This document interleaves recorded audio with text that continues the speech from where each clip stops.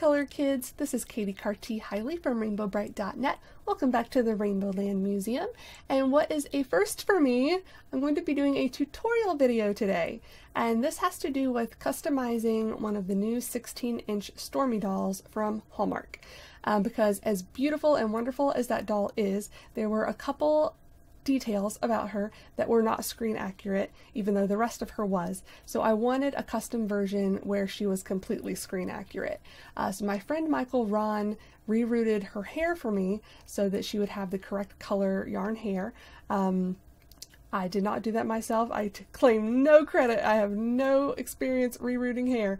Uh, that was all him, and he's amazing at it. So I'm going to put a link to the video he taught himself how to reroot hair from, um, but I'm not going to be teaching you how to do that because I don't know how to do that. Um, but what this video is going to be about is about switching her boots because the other detail that was incorrect is the lightning bolts on her boots are pointing the wrong direction. So I'm going to hold up the completed custom beside one of the originals from Hallmark to show you the differences. So the hair color is obviously very different. Um, I figured out a better word that I like for her hair color. This is hot purple. You know how there's hot pink? This is hot purple. Because it's just super bright and vibrant and saturated, all that. But it's not what she looked like in the cartoon. This was her hair color in the cartoon. This beautiful lilac color. And he made it nice and long. And of course did the braid and put the uh, lightning bolt back on, gave her a bit of a poof up here. He did an amazing job on her hair. Uh, maybe one day he'll do a tutorial video, but I'll put a link to the video that he used to teach himself how to reroot hair because he, yeah, nobody told him. He found a video online that had to do with Cabbage Patch dolls and how to reroot their hair and taught himself from that. So if you want to learn how to reroute hair, I'll show you how he taught himself how to do it, but he gets all the credit for doing her hair. Um, but here are the boots. So on the one from Hallmark, they are pointing down from the middle, making like an upside down V, when they should be like this, pointing down in the middle to make an actual like V shape. Um, this is the way she looks in the TV show and the movie. So, this video is going to show you how, my, well, I would say me and my mother-in-law, but it was really all my mother-in-law, switched her boots. So let me set these down. And I want to let you know that it was all hand stitching that we did, but she described it as like intermediate level hand stitching. So if you've done a little bit of hand stitching before, you may be able to do this, but it's a little tricky, it's at least in parts. Um, so I would not recommend doing this if you're a novice or have hardly done any hand stitching. Um, myself, I may be able to reproduce what she did because I a little bit better than a beginner with hand stitching, but not much. Um, so I'm really glad that she took over and just did this for me and let me take pictures and video along the way to show you guys exactly how she did it. But again, I can claim no credit. I didn't do this because I'm not a crafty person in, in, general. But I wanted it done and it was a fun activity to do over Thanksgiving while she was visiting. So what I'm going to be doing with this video, you're not going to see me for, through most of it. I'm going to show, it's like a, a slideshow I'm going to be doing with the different pictures, um, but I'm going to be describing what you're seeing in the pictures as we go. So you'll hear me talking, but you'll be looking at pictures. So you'll probably hear a little bit of clicking around or me pushing buttons to advance to the next picture so that I know what I'm looking at. So we're going to start with this is what we started out with was a headless Stormy, and the reason her head was off was because we had not yet put the new head that Mikel sent me on the doll. We had just taken off the old one just to get it out of the way, so we had less to deal with, basically.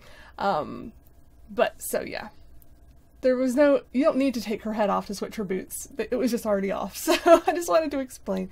But here was the doll as she began.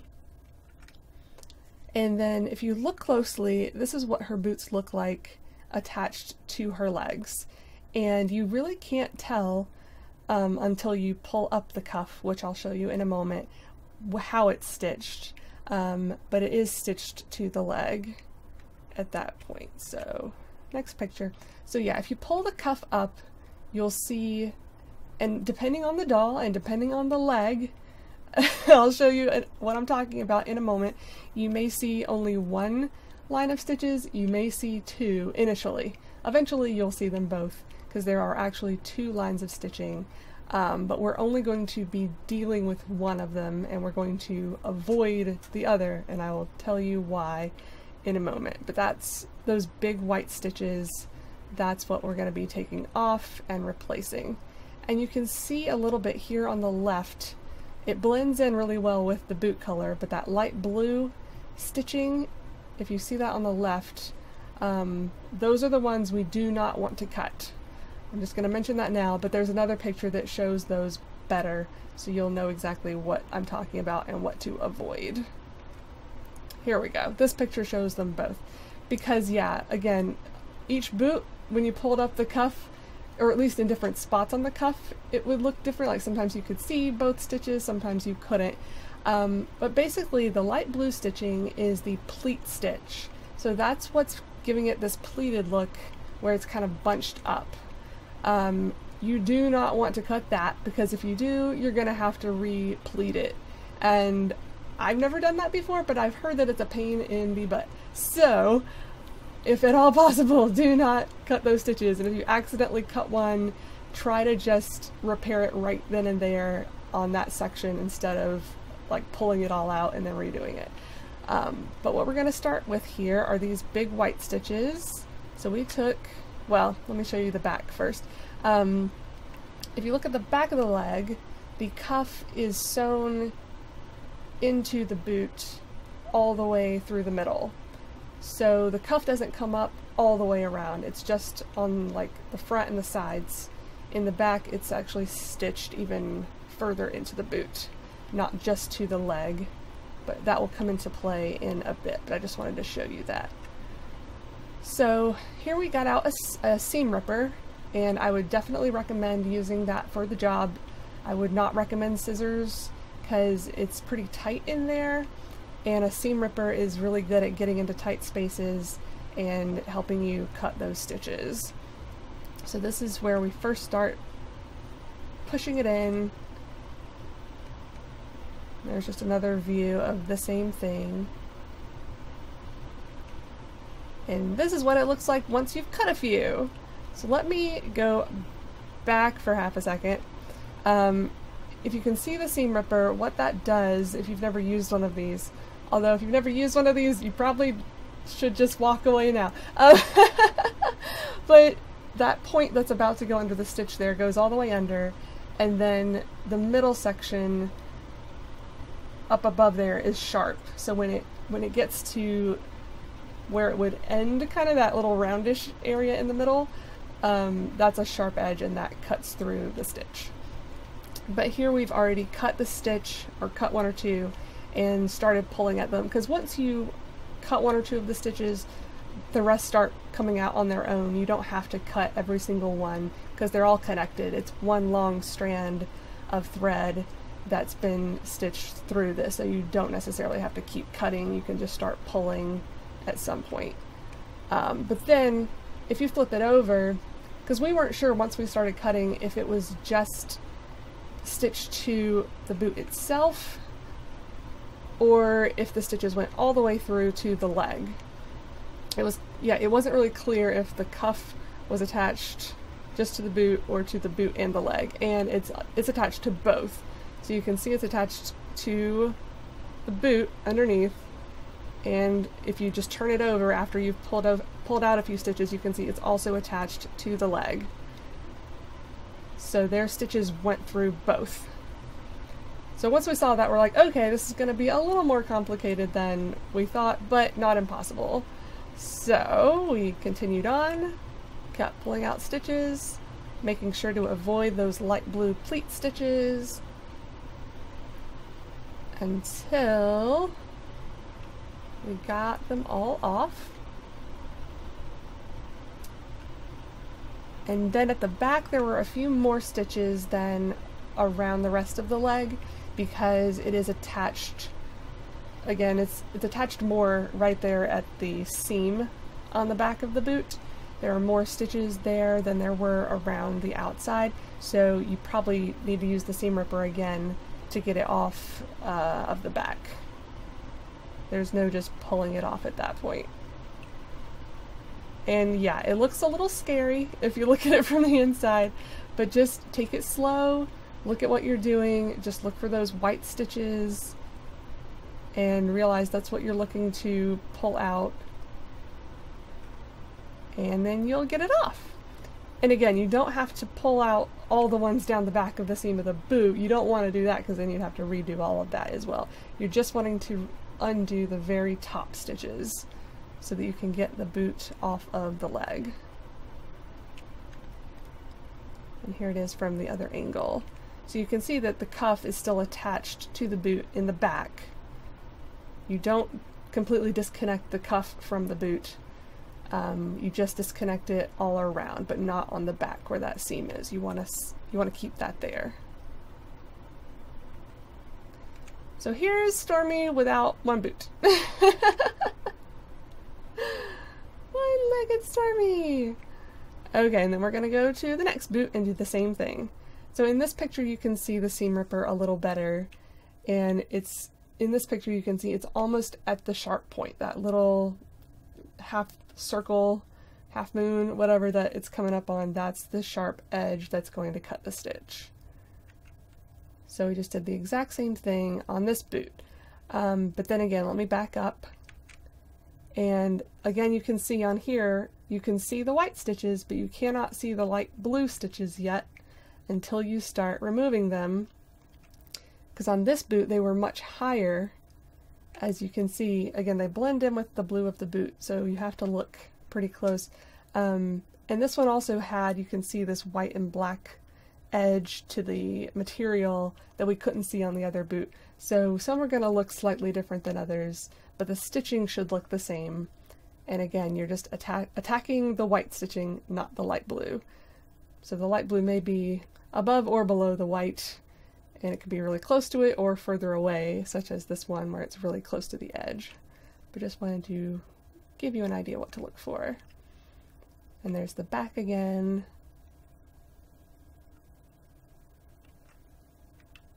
And again from the inside view.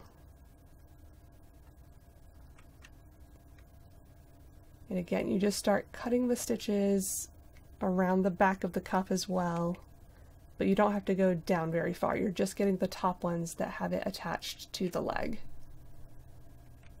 And on this one, as you can see, there were a lot of stitches that had it attached to the leg. I guess that's kind of their anchor point, so there were more stitches that needed to be disconnected or cut through. Um, but yeah, you need to cut need to cut all of those so that you can detach the boot and the cuff from the leg completely. And now we have Stormy Body with no legs attached, or no boots, sorry, she still has her legs, but with no boots attached.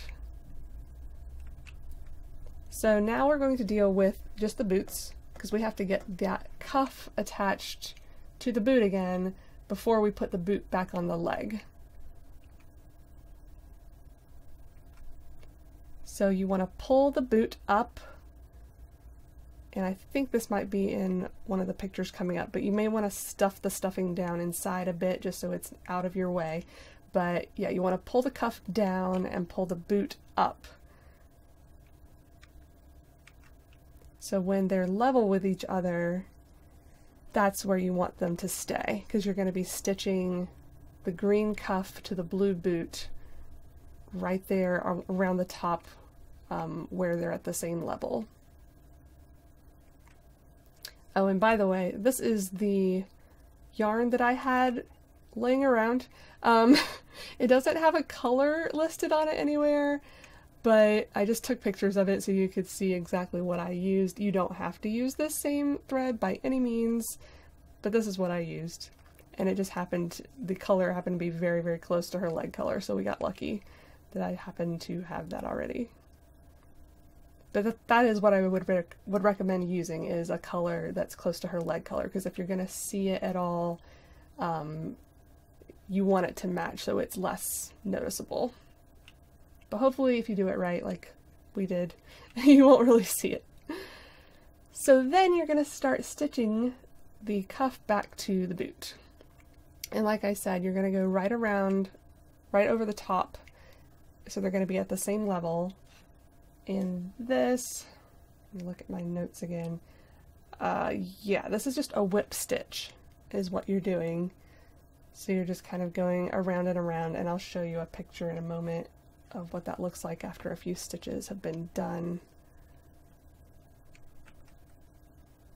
There you can see she's done, I think there's four, um, working on the fifth one in this picture. So you're just going above, you know, over top, then back through, over top, back through, over top, back through. And she wasn't doing it super close together, um, and that, that was perfectly fine in the end. You don't have to do them like every tiny millimeter. You know, you can, you, should, you can uh, stretch them out a little bit. There can be a little bit of space between them. Um, and something we figured out later that we would have done slightly differently at this point is when you're doing this whip stitch, don't do it too tightly. Uh, definitely do it tight enough that it's going to stay, but we realized that we did it so tight that when we went to do something later, it had the tendency to curl inward, and that made it harder to work with. So when you do the whip stitch, just do it kind of uh, lightly. Don't do it too tight. And so here's what I'm talking about, how it curls in, uh, but this is basically what you've got when you're done, is you've got these stitches going all the way around.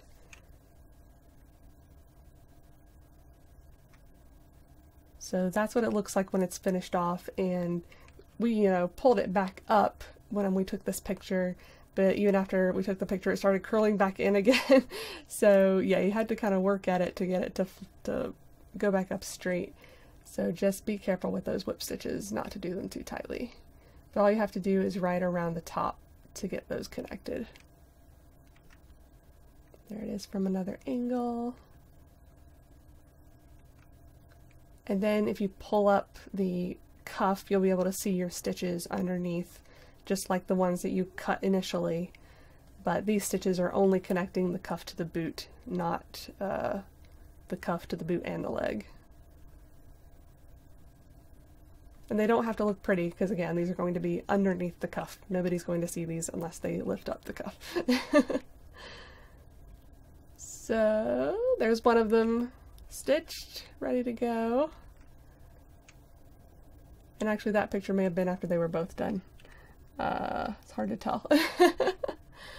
but also when you cut off the boots from the leg, some of the stitches ended up coming out of the leg them, legs themselves on the back, that back seam. So the ideal thing to do would be to fix those first before you start reattaching the boots and to do it from the inside since you have that ability at this point. You would just push the stuffing back up, redo those stitches from the inside so that the back seam is perfect again, and then put the boot back on. We didn't take the time to do that, but if I were to do it again, I would do that at this point before you start reattaching the boots. So here's the boot again with it curling in. but we pulled it back up so that it was pretty flat. And then you want to push the stuffing up inside the leg. Um, I had a thought of adding more stuffing, but it actually got in the way. Um, and these dolls have enough stuffing as it is in their legs and in the boots, so you don't need to add any, and you shouldn't need to take any away either. Just push it up inside the leg so it's out of your way while you're doing your stitches. There's a picture with it just showing that it is pushed up inside. And then to get the boot up inside the leg, we at first were trying this method where we were kind of squishing it um, into a smaller version of itself and trying to stuff it up inside the leg, but it never would stay. So ignore this. I just want to show you what we tried first that didn't really work, and we ended up going a different direction. What we actually ended up doing was just putting the back of the boot up inside the back of the leg at the seam and starting there. Um, and we used pins to pin the boot to the leg before we did any stitching. But this just shows how we were putting it up inside the leg. And here is the first pin going through to pin it to the leg. And that's what it looks like after it's all been pinned. Now I'm going to stick a quick video in here because I recorded a video of her putting two or three of the pins in the leg so that you can see exactly how she did that because that part was a little tricky um, just to getting it just to get it to stay still while you're trying to get these pins in it because you really need it pinned before you do any stitching or it just flops all over the place. so here's a quick video interlude. Okay, so let me pull it out. Right, so push it up because you don't want that in the way right now. And push this down. And then, okay, now I got it, I think.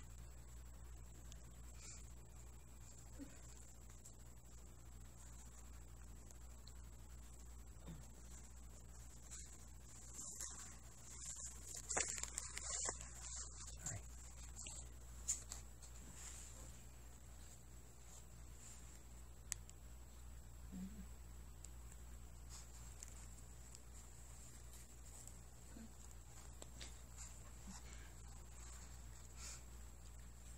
That's why we're doing the video. This is the tricky part.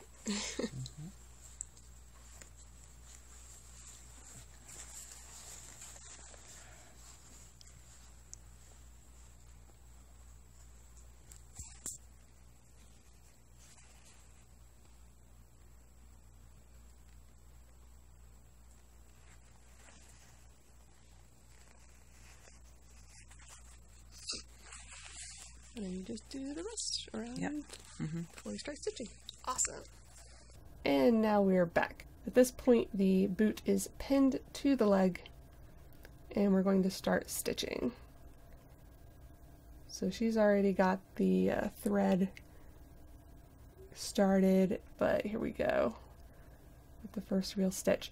And we're having to do this on the outside because the only other way to do this would be to turn the entire leg inside out, do it from the inside and reattach it somehow to the body.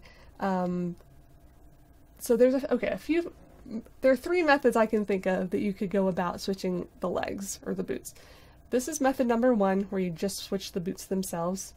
Method number two would be to take the legs off fr- just from the body from the outside which I don't think would look very good, but you might be able to cover it up um, if you cut it really, really close to the body and then stitched it back on from underneath the body. So you would still be stitching it on the outside, but it would be from underneath, so hopefully it wouldn't show up too bad.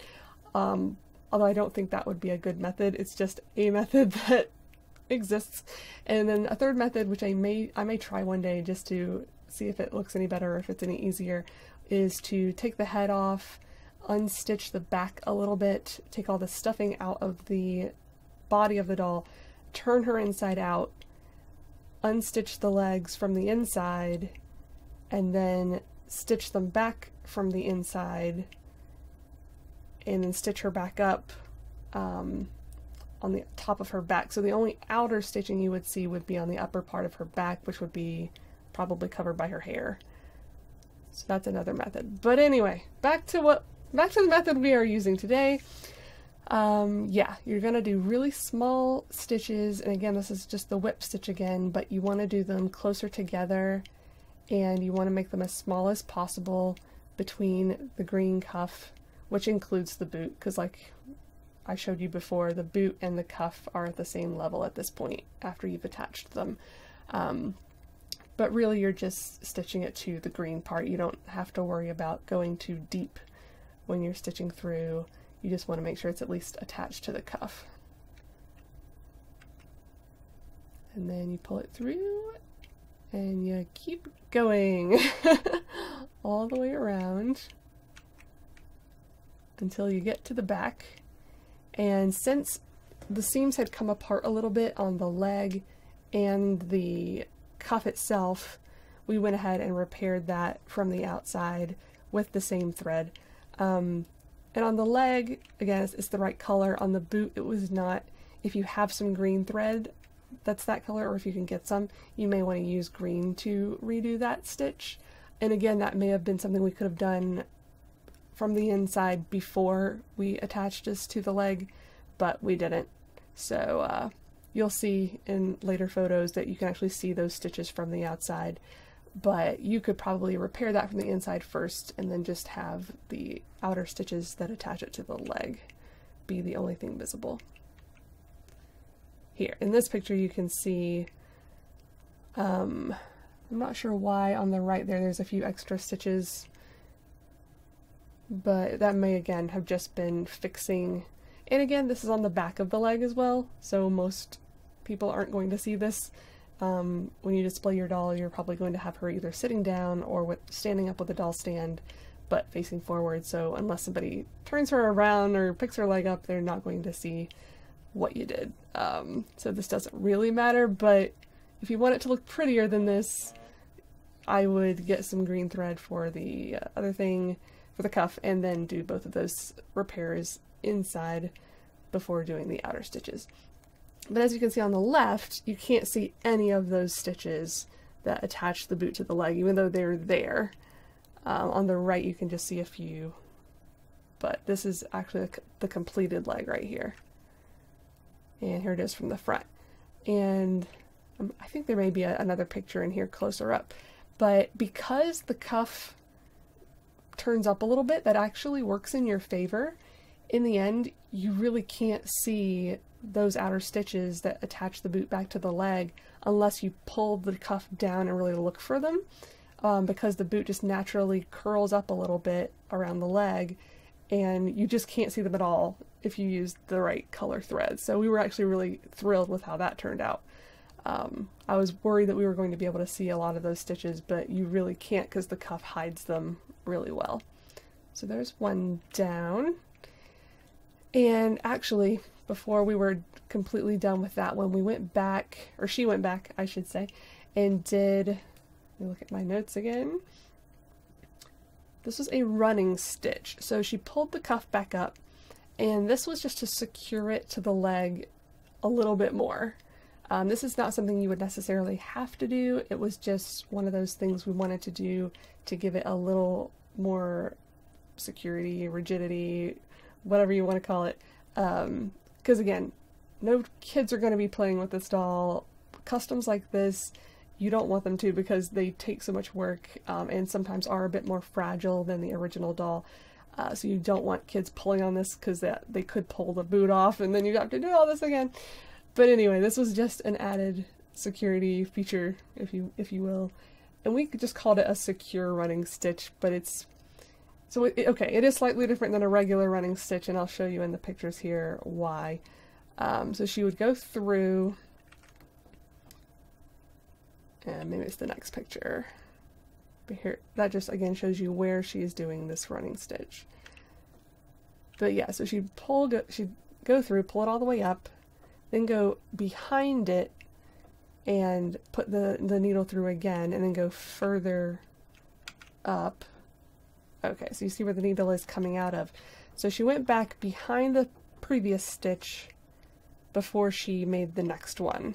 So she kept doing that. She kept going behind the previous stitch before the next one. That just made it a bit more of a secure of a stitch than a regular running stitch.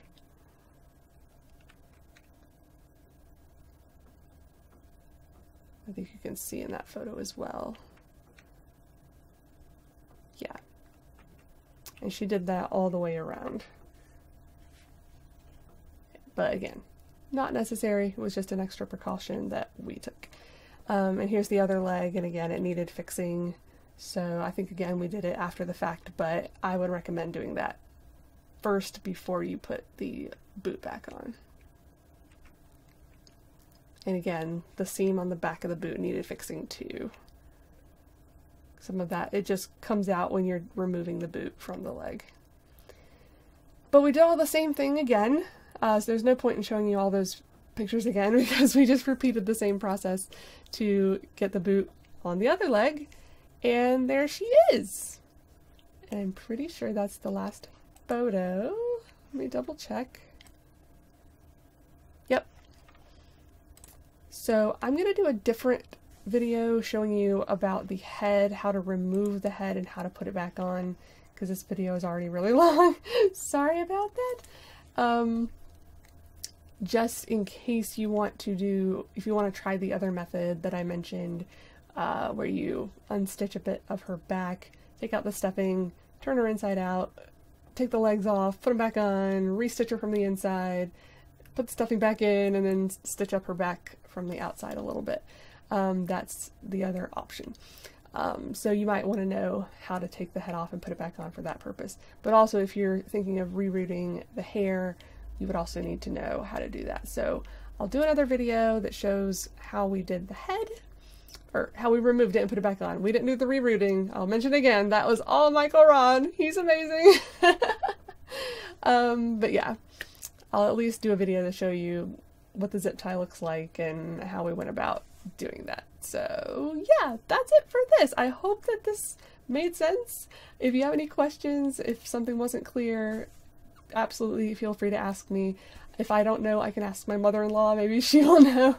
but uh, yeah, we had a lot of fun actually doing this. It was a fun family project to do over the holidays.